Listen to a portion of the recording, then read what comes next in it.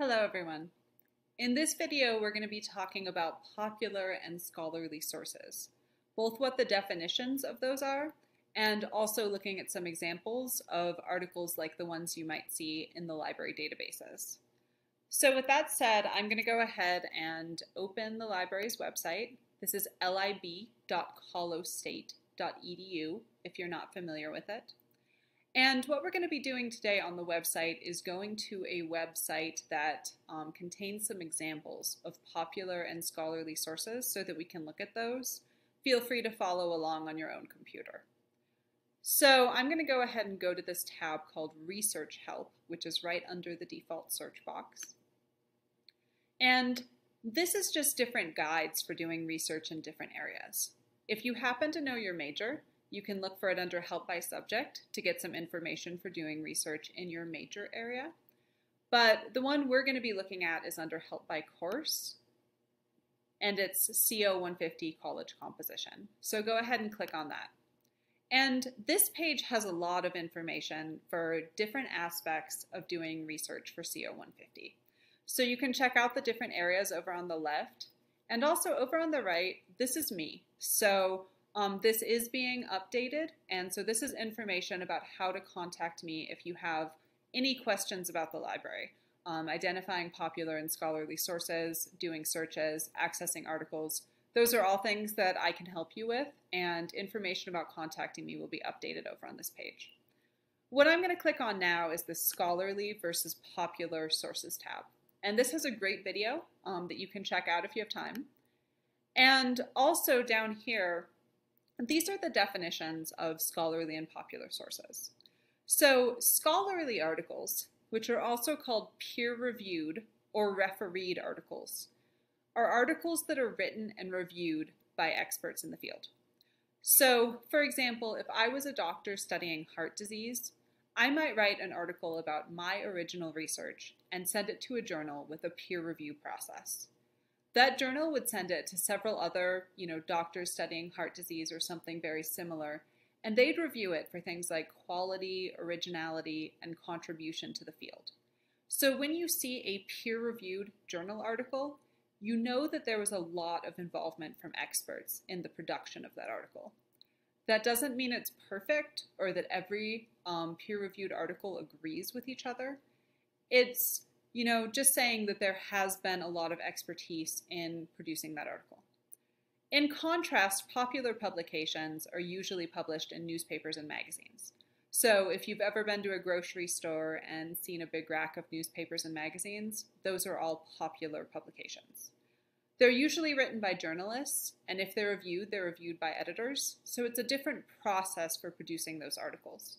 They're also typically written for a general audience, whereas peer-reviewed articles are usually more written for people who are doing research in the field. So I'm going to go ahead and click on one of these example pages. There are a bunch here if you want to look at different ones. I'm going to click on Scholarly versus Popular Climate Change and Health. And I'm going to go ahead and click on the first article to open it. And this will open the information about the article, I'm going to click on the PDF so that we can actually see the full text of the article. And this is a very typical example of what a peer-reviewed article looks like. So up here you can see I've got the journal title, which is Climatic Change. And the title of the article is Managed Retreat as a Strategy for Climate Change Adaptation in Small Communities, Public Health Implications. This is a pretty typical title for a scholarly article, um, it's telling you exactly what it's about. These articles are usually to communicate original research or studies. So the titles are frequently going to tell you what that study looked at in pretty straightforward terms. In terms of the authors, it's pretty frequent, although not always, to see some information about their credentials. Um, like I mentioned, these articles are usually written by experts, so you might see things like their degrees or oftentimes what university they work at a lot of people who write these articles work at universities, including CSU. So that's a common thing to see. All scholarly articles will start with an abstract, which is a short summary of what the article is about. When you're doing your searching, you're always going to want to read this abstract first, because it's going to help you determine whether that article is going to be relevant to your research. So start by reading that abstract, use it to determine whether you want to take the time to read that full article.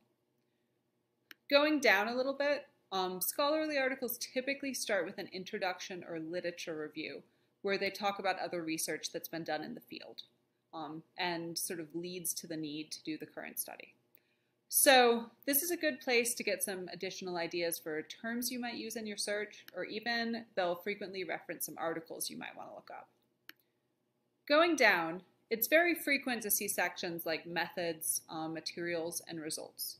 You won't see this in every peer-reviewed article because not every peer-reviewed article talks about an experiment, um, but it's very, very common. And also just going through this, you might see some tables, some charts, um, some maps. Um, if there are pictures, and there are pictures in some peer-reviewed articles, they'll be very relevant to what the article is talking about. So you won't see like clip art pictures. And the discussion or conclusion talks about the implications of the study. This is a really important part to read. So um, this is sometimes a place that people will sort of start with to get an idea of, you know, what the article concluded, but there's some different ways to approach these. And then at the bottom, all articles will include a references list or bibliography that talks about the resources that the authors looked at in preparing their research. This is really important. Um, it's very much a part of the scholarly conversation to refer to and acknowledge other studies. And also, it's a great place where you might be able to find some additional resources that you want to look up. So if you see a title that you're like, that looks like a fantastic article that would be really relevant to my research, you can search the title in the library databases and frequently you'll be able to find it immediately. If that's something you ever have trouble with, it's something I can help you with.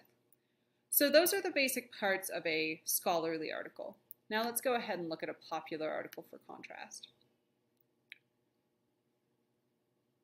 So probably these will be a little bit more familiar. This is an article from a magazine. It starts with a big glossy picture.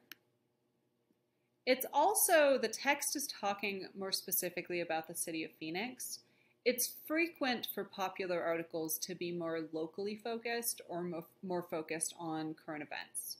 So that's frequently something that's different about the content.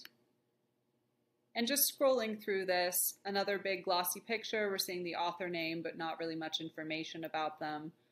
Popular articles tend to be shorter. They tend to be a lot less formal.